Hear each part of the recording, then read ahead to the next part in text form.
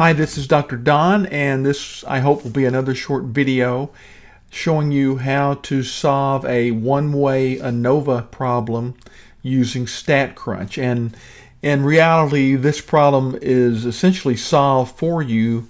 Uh, they give you a statement of the problem that we're looking at. In the problem, uh, we're told that there were seven states, so that tells us that's a categorical variable.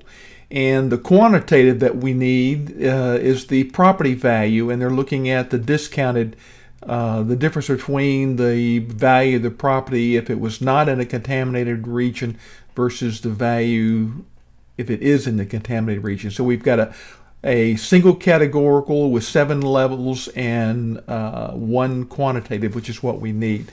The first thing is give the null an alternative and that is always for the one-way ANOVAs that at least two of the means differ is the alternative. The null is that there is no difference in any of the means.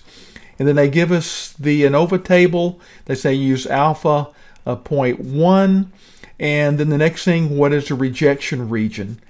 Um, the way we get the rejection region, we need for the, this is an F distribution, always a right tail. We need the numerator and the denominator degrees of freedom, and they give it to us in the ANOVA. The first degrees of freedom states is the numerator, and then the error term 70 is the denominator. So let's call up StatCrunch and find this critical. Okay, I have StatCrunch, and remember for the F distribution, we just go Stat, Calculators, F. And we bring up the dialog box.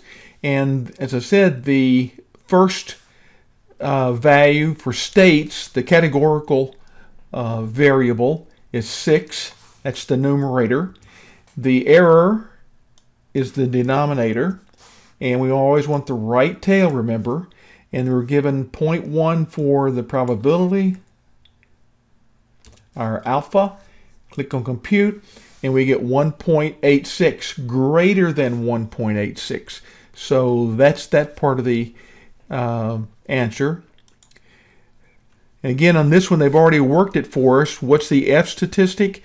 It's given right there, 2.04.